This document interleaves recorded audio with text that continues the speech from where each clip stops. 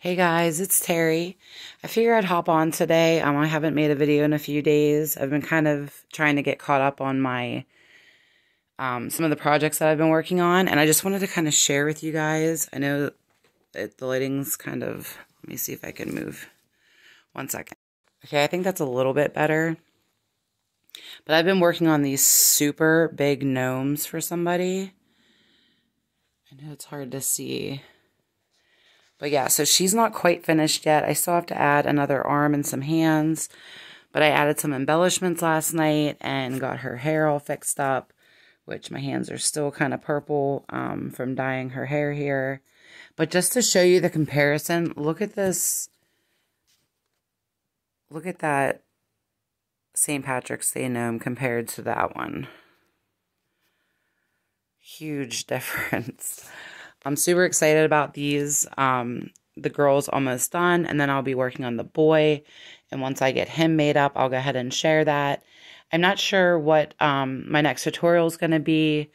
Um, thinking about it, I'm trying to decide, but if you guys have any suggestions, let me know in the comments below. And I did share the cake that I made um, that's going to go with these gnomes, so let me grab that real quick and I'll show if in case somebody didn't catch that.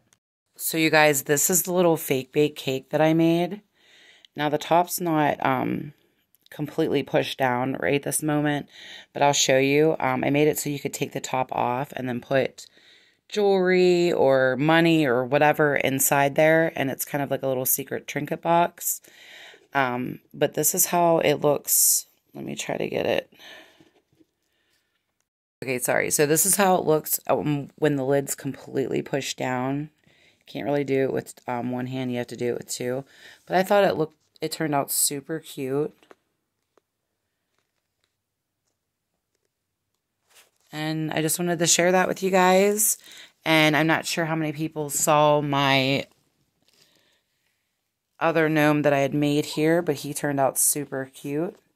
I didn't have the letters um, for the word bath, so I just put relax there. But he still turned out cute. All right, guys, I just wanted to share these with you guys. Um, if you have any tutorials that you guys would like to see, let me know in the comments below. And um, I'm sure I'll be posting another video here uh, soon. So I'll talk to you guys then. Bye.